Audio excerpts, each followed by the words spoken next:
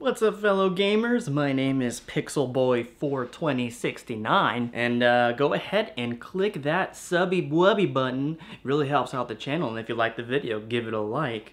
Uh, we're gonna talk about some video game news. That's what we do every day of the goddamn week, so let's go over it. Nintendo is in the news again. They have yet to release anything of a peripheral, anything of a console, and if that's alluded to or hinted at, it won't drop until Nintendo decides to do it. They're Nintendo. They don't need your permission, bitch. Also, Nintendo has decided to sue another grandma and grandpa for $50 million.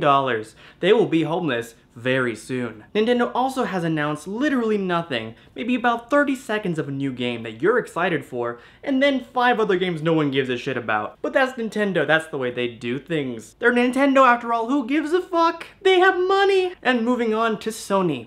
Sony is in the news because they're about to release their third exclusive PS5 title. Well, have we been waiting for five years for it? Yeah, and I can't wait till 2077 for their fourth exclusive to come out. And it'll be another Jak and Daxter. And speaking of a company that doesn't like to get money from gamers, Microsoft is putting another 200 titles on their Xbox Game Pass. What games are they?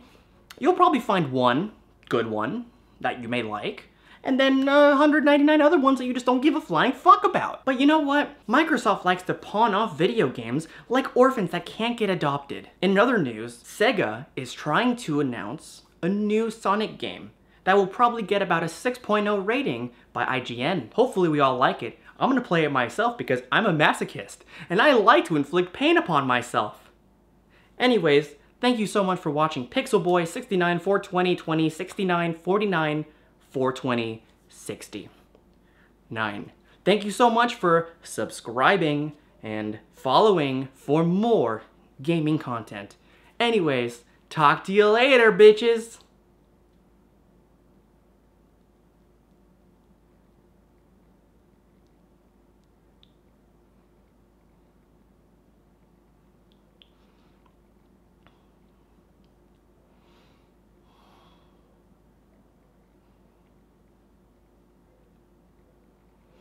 Okay, let's get that for views. Views, views, views.